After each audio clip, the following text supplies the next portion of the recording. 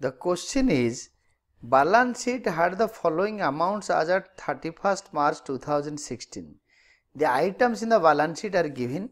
Calculate ratios indicating long term and short term financial position of the company. To find out long term financial position, we have to find out debt equity ratio. To find out short term financial position, we have to calculate current ratio.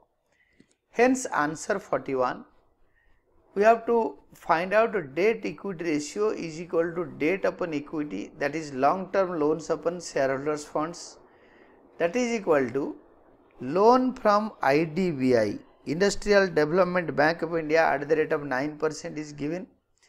Whole divided by for shareholders funds we have been given 10 percent preference share capital plus equity share capital plus reserves and surplus here securities premium reserve will not be taken into account because it is included in reserves and surplus very important point. Then the values are rupees 30 lakhs upon rupees 5 lakhs plus rupees 15 lakhs plus rupees 4 lakhs.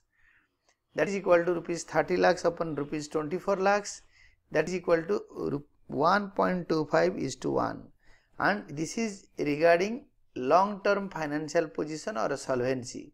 For short term financial position or short term solvency, we have to find out current ratio. Long term financial position of the company is indicated by debt equity ratio and current ratio is equal to current assets upon current liabilities. Their values are given directly that is rupees 12 lakhs upon rupees 8 lakhs that is 1.5 is to 1 and short term financial position of the company is indicated by the current ratio.